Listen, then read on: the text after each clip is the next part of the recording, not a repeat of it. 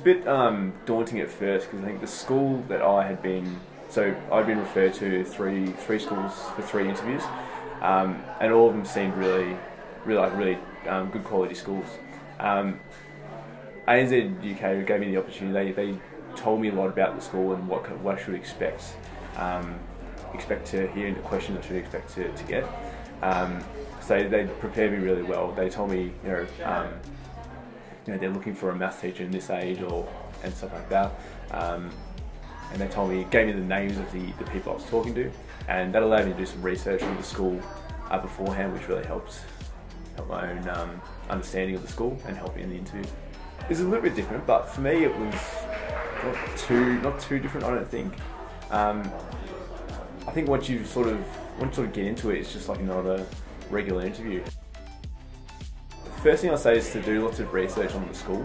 Um, I had a little bit of paper next next to my next to my computer, which the, the school can't see, but I just had the names and the name of the school down, um, name of the principal or whoever you're talking to. Um, then I just had some like key values that the school had placed on their website, um, and I tried to include that in my responses where possible.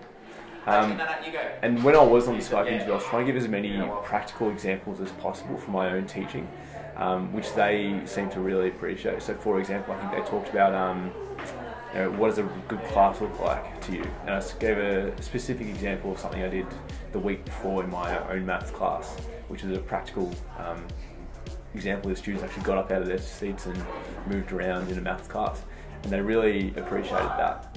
The fact that um, students weren't always sitting down, and they, they appreciated that practical example, real life example. Helped me with questions that I could expect to find. Um, I think there's a question, he said, expect a lot of questions on safeguarding, which is our duty of care equivalent. Um, so I was well prepared for that. And, um, and again, he said, you know, come up, just think of things you do in your own class and relate that to your, um, in your interview. So he really um, helped me with my, with my, with the process and he told me about the teachers and who I was talking to and the names who I was talking to.